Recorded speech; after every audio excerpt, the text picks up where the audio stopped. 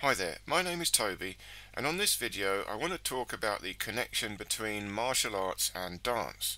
You see dance is overlooked a lot by martial artists but there are some very famous and serious fighters that did dancing. Bruce Lee is perhaps the most famous, did ballroom dancing but there are many others.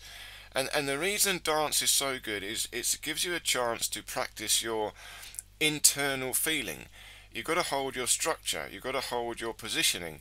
And that's very difficult to do when you're sparring or fighting because you of course you're distracted by your opponent. But you do need sparring, of course you need combat to be a fighter.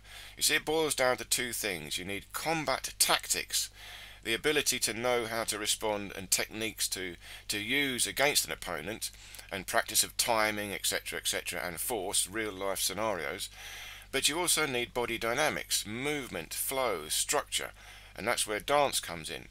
Now, traditional martial arts, you could say, is dance. They're, they're practicing preset forms, kata, and these are actually dances, really. They're not combat, they're movements, they're dance. But of course, they're dance with a purpose. They're training exercises, training sets of movements. But what you're really trying to do when you do these martial dances is practice your internal structure.